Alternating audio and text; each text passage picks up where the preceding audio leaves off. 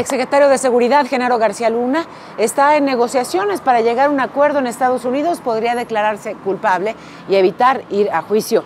Octavio Romero, director de Pemex, informó que el huachicoleo se redujo 91%, se ahorraron 56 mil millones de pesos. Las que aumentaron fueron las tomas clandestinas de gas.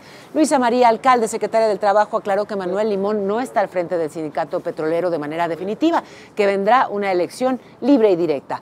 Santiago Nieto, de la Unidad de Inteligencia Financiera de Hacienda, informó que hay una denuncia contra los legionarios de Cristo, pero ninguna investigación que compruebe aún el caso y la Secretaría de Relaciones Exteriores rechazó la pretensión de Estados Unidos de enviar a Guatemala a mexicanos que buscan asilo. En Irán 50 personas murieron, 200 resultaron heridas, una estampida durante el funeral del general Soleimani.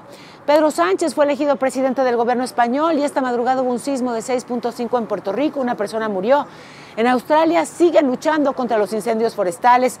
El humo ya llegó a países como Chile y Argentina.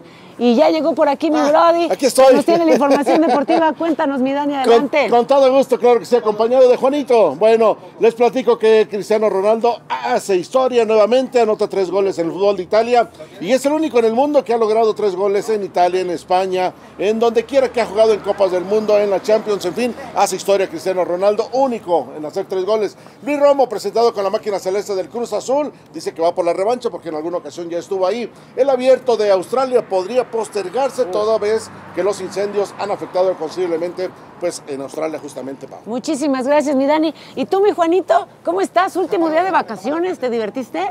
Sí. Qué bueno. Oye, ¿y te trajeron algo los Reyes Magos? No. ¡Ah! Pues, ¿cómo te portaste? Bien. Chamaco, ¿qué tal si te portas bien esta vez para que ahora sí te traigan una sorpresa? ¿Eh? ¿Tú qué me vas a dar? Yo te voy a dar una sorpresa, pero solo si te portas bien. ¿Eh? ¿Me regalas un beso, Juanito? ¡Ay, qué suerte tengo! Gracias, guapetón. Tápese que hace frío. Tápese, tápese, diles adiós.